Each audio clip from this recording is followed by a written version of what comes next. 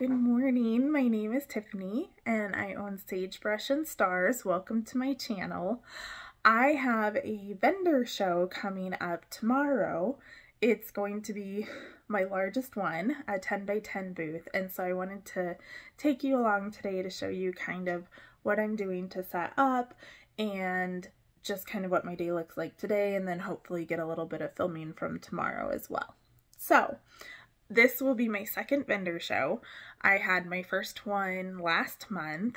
It was good. It just wasn't anything that I expected it to be. I watched so many YouTube videos of people and there's just nothing that really prepares you. And I'm sure it's different per area and by what you're selling. Um, I think there's just a lot of parameters that, you know, my show is going to be completely different than somebody else's. So my show last month, I had a four by eight booth. So it was very narrow. Um, and I, you know, it just wasn't a very good size. I sell a lot of different products. And so I had a really hard time kind of condensing them all into that area.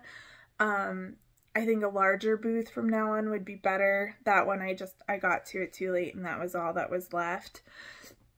I also, the show was about two hours away and I was really stressed in, you know, trying to get there the day of and then do the full setup and then do the show. I just thought that would be really stressful. So they let the vendors come the night before if they wanted to set up. So my husband and I ended up going the night before, kind of took our time, do, did the bulk of the setup, and then we stayed in a hotel that night.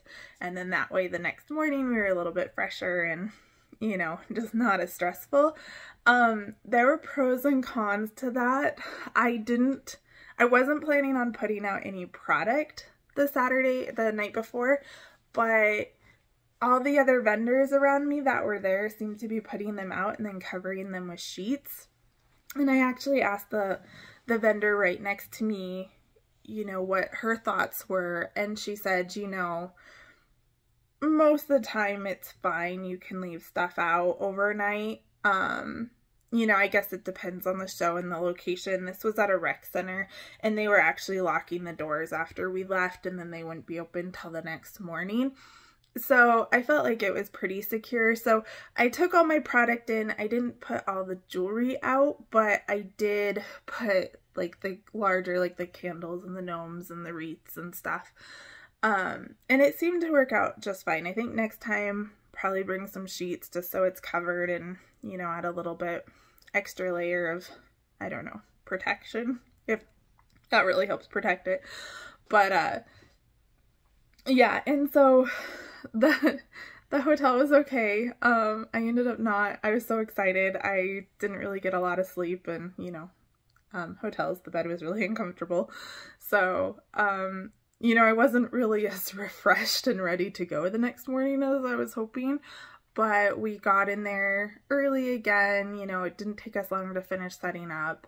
Um, and kind of got a chance to look around and talk to the other vendors and see other things. So it was I'm glad that we did it that way. Um, the show itself was very, you know, it was a spring show, and I've heard that spring shows are just not as good. You know, there's just not as many people or not as many people buying. I felt like attendance was really good, um, but there was a lot of looky-loos. So a lot. I mean, a lot of people just absolutely loved everything and then would walk away. so it was a little bit frustrating. Just, um, I make high, or actually my mother-in-law makes Highland cows. I'll show you one. Okay, so this is one of them. They are the cutest things ever. And everybody absolutely loved them. I mean, they were an attention getter and everybody that walked by, you know, probably 90% of the people that walked by my booth would comment on these cows. They just thought they were the cutest things, adorable. They would pick them up, look at the price tag, and set them back down walk away. And so I know that's an indication that they're priced too high, but honestly, I don't, I have tried really hard to price my things very reasonably and I can't put these much lower than they are. So I was just very discouraged because I felt like they were, you know, people felt like they were overpriced and they weren't selling because of that. Um, I sold quite a few gnomes, which I was, you know, kind of surprised. I hardly sold any candles. I make dessert candles and I felt like people didn't really understand what they were. And I didn't sell really any necklace necklaces at all. I sold some earrings, but there was it wasn't a juried show and there was so many jewelry vendors that it just really made it, you know, saturated the market. So I don't think any of the jewelry people did very well. Um, it, you know, the show itself was a lot of stop and I guess I thought it would be a lot more like rushes and then nobody and then rushes and then nobody. And it actually was a pretty steady trickle. There was a couple little rushes, but not really what I thought it would be. And I did most of my sales between 9 a.m. and 1 p.m. Um, I hardly had any activity after 1. It just, you know, there were still people, but hardly anybody was stopping. Um, I think I made two sales after that time. So it just, it kind of got boring. That was another thing that really surprised me was I got bored. Um, you know, just kind of sitting, like when people were there and when they were buying things, it was very exhilarating. But when they weren't, it was so boring. So I know that's just part of it. Um, I just wasn't expecting that. I thought it would be a lot more of, you know, big rushes and then have some time to kind of, you know, put out more stock and, you know, take a breather and then another big rush. I just wasn't really prepared for more of a steady, very slow pace. So overall for the show, oh, another thing that really surprised me was the amount of support I got from the other vendors. There, that just blew me away completely. It was like a whole community. And when they found out that it was my first show, they were so supportive and offering me advice and they would even come back at the end of the day and say how did you do? And you know this is what we thought the show was and you know make me feel better if I thought that I you know didn't sell as many candles as I thought I would or sell as much jewelry. And so just reassure me you know that about the show. And you know some of the comments from them was there was a different I think they call him a promoter for the show.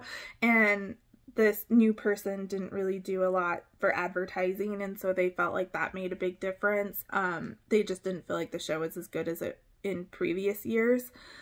So, you know, a lot, but like I have it. Sorry, one more thing.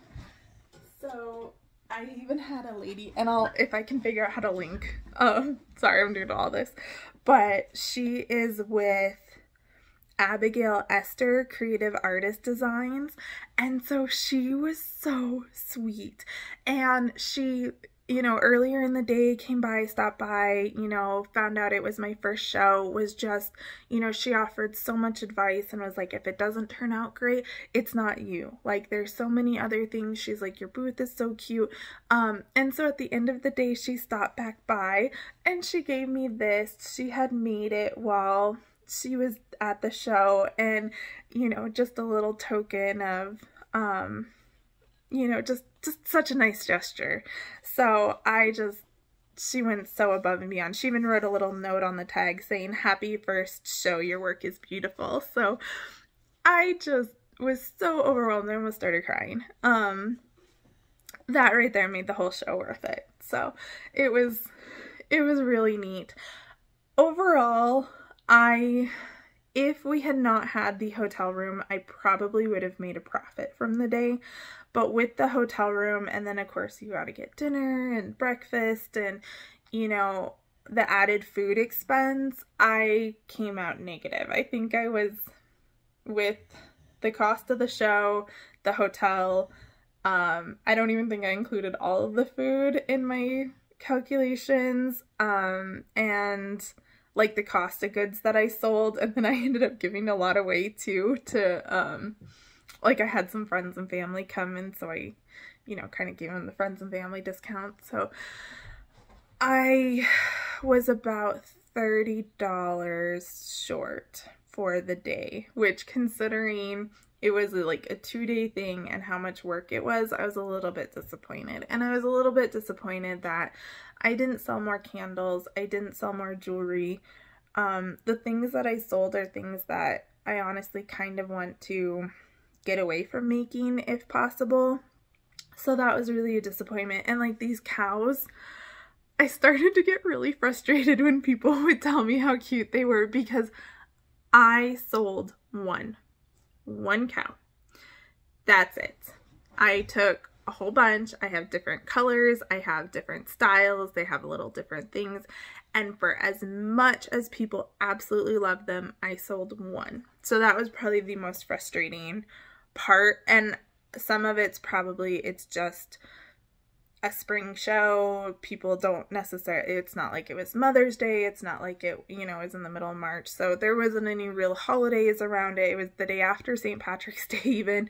Um, and so I think it was just timing, but still, it was a little bit frustrating.